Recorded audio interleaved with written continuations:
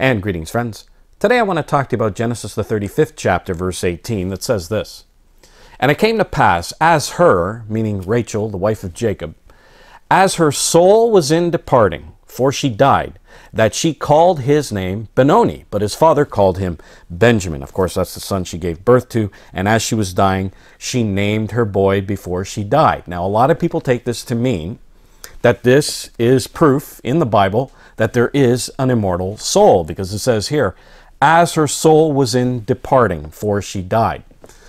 Now, as I keep insisting, we have to stop looking at the scriptures and interpret it the way the Greeks uh, believed in how man is put together, what man is composed of. Of course, the Greeks believed that uh, we have a body, and encased inside this body, there is an immortal soul trying to get out of the body. This is what the Greeks believed, and this is this is how people keep interpreting the scriptures through Greek dualism, as they call it, of the body and the immortal soul.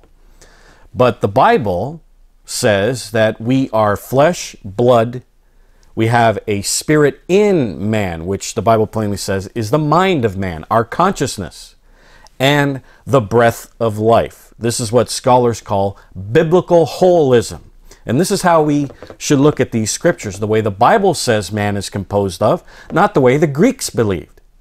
So we need to keep that in mind when we look at these scriptures where it says, as her soul was in departing. So, what does that mean? As I said, the Bible says man is composed of flesh, blood, the spirit in man, which is the mind of man, our consciousness, and the breath of life. So, what does it mean here? As her soul was in departing. Well, I want to just quote you this from Samuele Bacchiocchi's book, Immortality and Resurrection, page 56.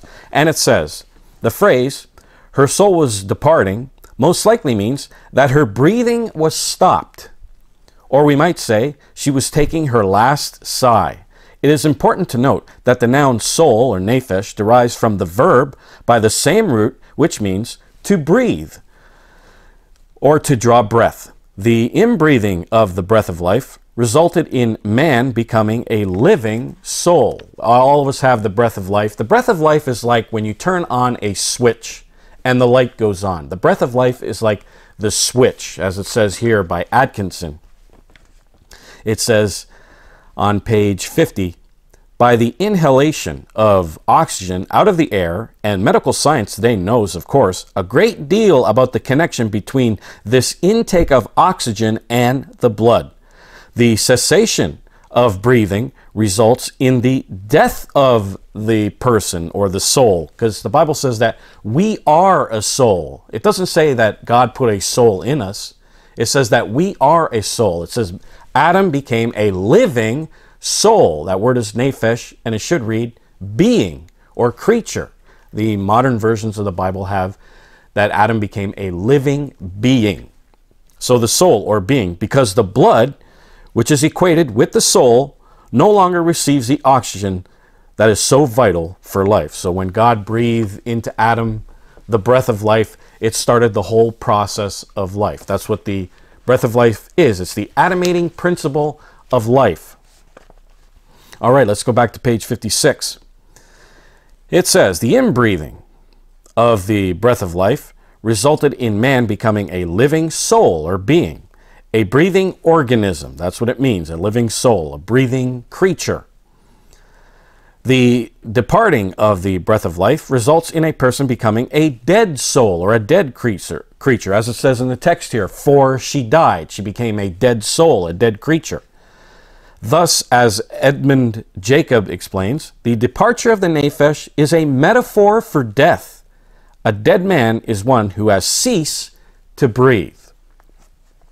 And then it says here, we conclude that the departure of the soul is a metaphor for death, most likely associated with the interruption of the breathing process. And that's what it means. Now, when you look at the newer translations of the Bible, I got one here by the NIV, but there's plenty of others. It says this As she breathed her last, for she was dying, she named her son Benoni. And that's what it means that when it says here in the King James Version, as her soul was in departing, it really means as she breathed her last, she took her last breath, and her last breath came out, and she named her son Benoni.